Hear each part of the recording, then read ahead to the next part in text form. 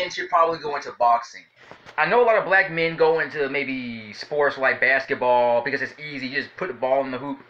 And football because you just run and you get a touchdown. It's easy. But boxing, I, where I grew up, you know, in a lot of black neighborhoods, a lot of black boys learn how to fight at an early age.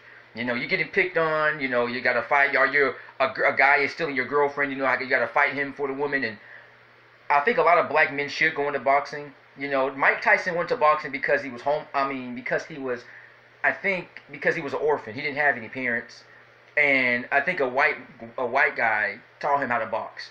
You know, he didn't really have much, but a lot of black men should probably go into boxing. And it is a good career. It's very hard because a lot of guys say, I don't want to go and have people punch me in the face.